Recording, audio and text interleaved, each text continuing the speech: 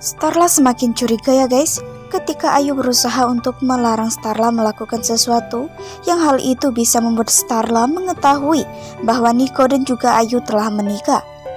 Hal itu tambah membuat Starla merasa curiga. Ia bingung apa yang sebenarnya saat ini disembunyikan oleh Ayu dari dirinya. Meskipun saat ini tidak ada hal yang bisa dilakukan oleh Starla selain menuruti semua perkataan Ayu untuk berhenti mencari tahu. Starla akan mencari tahu secara diam-diam. Karena bagaimanapun juga, cepat atau lambat Starla pasti akan mengetahui semuanya. Nah guys, lalu kira-kira apa yang akan terjadi di episode selanjutnya?